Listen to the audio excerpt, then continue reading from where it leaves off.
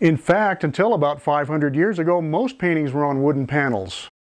But the adoption of canvas about 500 years ago solved some problems that people were having at that time. For one thing, very large paintings on wooden panels were very heavy and clumsy to move around, but they became very light when they were done on canvas.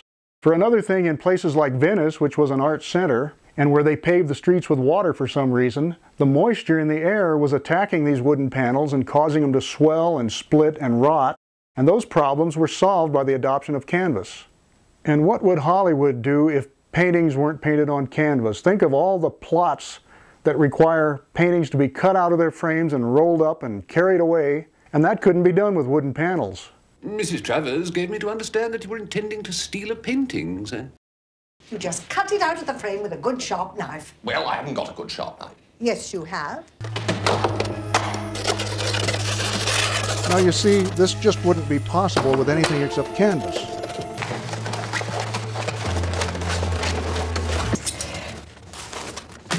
This oil paint burns nice, isn't it? I've never burned a painting, but I've seen a few good candidates for it. Anyway, I said earlier that canvas is not the very best thing to paint on, and yet it's still very good. I've seen paintings on canvas that were five centuries old, and they looked brand new because they'd been cleaned and well cared for. Canvas's main drawback is that it's flexible, being cloth, and oil paint is not flexible. But if you stretch it correctly, it can last that long, and that's what I'm going to show you how to do. And making your own canvas has distinct advantages. You save time, you save a lot of money, and you can make canvases in sizes that you cannot buy commercially. For example, I like to reproduce historic paintings in exactly the same dimensions as the original whenever I can, or at least in the same proportions if they're too big. And where would I have bought a canvas of these dimensions to reproduce Sargent's Madame X? Well, the answer is I never could have found a commercially made tall, narrow canvas of exactly these dimensions, especially one with oil-primed linen on it, so I had to make my own. And it wasn't hard at all, and that's what I'm going to show you. But I have to tell you that making a video on canvas stretching had to be one of the duller things I've done in my life, so to relieve the monotony a little bit, I had some fun with it here and there, and I hope you don't hold it against me, and maybe you'll find it fun too. Now in a nutshell, to make a canvas panel to paint on, you assemble a wooden frame, stretch canvas over that frame, and then hold the canvas in place with staples or tacks around the edges. You can jump straight to part four and watch it done. Or you can work your way up to part four at a more leisurely pace. Here's how this video is organized. First we have my history of painting and the use of canvas to paint on. And if you've been watching from the beginning, you've already seen that, so congratulations you got through it. There's four more parts to go. The first one is a discussion of the canvas stretching tools. After that, we'll talk about canvas itself. Then we'll build a stretcher frame, and finally we'll stretch and staple the canvas to that frame.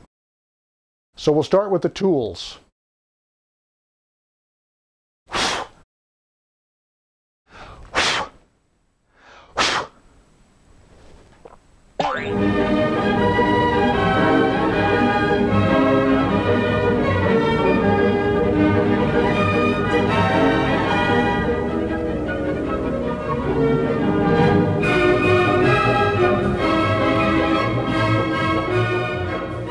First of all, right at the start, for legal reasons, I have to tell you that this video is for your information only. If you decide to imitate me in some of these things I'm going to show you and take on a canvas stretching project, you do it at your own risk. Now I've stretched canvases for years and I haven't hurt myself yet, knocking on wood, but we all know some people who just shouldn't mess with tools. They can hurt themselves with any sort of a tool.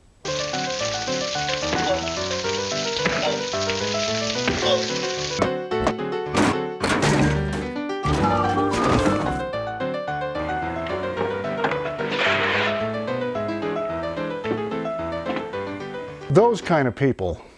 Now those guys are in the movies, but we all know people like that in real life. I know a few and you probably do too. And if you are one of those people, for gosh sakes don't try to do anything with tools. Just use this video for your own information to see how canvas stretching is done and have somebody else stretch your canvases for you. Or buy them ready-made. As I said before, If you decide to do this and imitate me, you do it at your own risk. And by the way, those little bits of movies are from some of my favorite comedy movies, and I've identified them for you in the credits at the end of this video so that you can rent or buy them for yourself. They're good for a lot of laughs. By the way, nowhere in this video have I endorsed any particular tool or product because I want to keep this video free from commercialism and also because no company has yet bribed me or rather I have not yet seen any particular product that I'm so impressed with that I want to endorse it. But if you're interested in what brands of tools I personally prefer, go to my website and I'll set aside a page where I list my personal preferences in tools, which may change from time to time. Now for people who are acquainted with basic hand tools and have a little experience with them, you probably won't find canvas stretching very difficult at all. In fact, you may have most of the tools around the house already.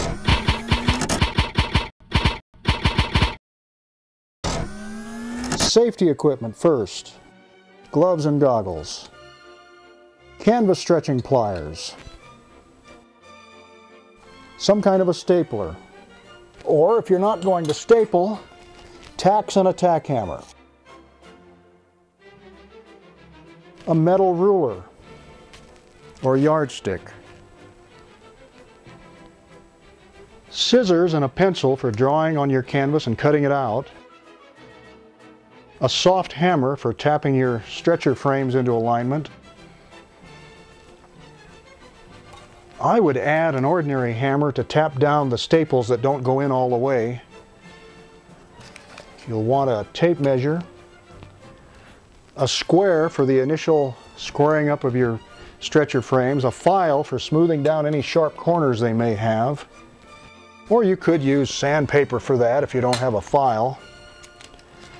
Various kinds of pliers are useful for pulling staples and tacks back out when you want to get them back out, or if they've gone in so deeply that the pliers can't grip them, a, a small flat-bladed screwdriver will allow you to dig under the tacks or staples to get them up. So there's a basic list of the tools. Now I'll show you how to use them. And you need to know that there are some choices to make. For example, there are different kinds of staplers you can use or you can use tacks and a hammer. And there are different kinds of canvas stretching pliers, so we're going to do some more talking about the tools.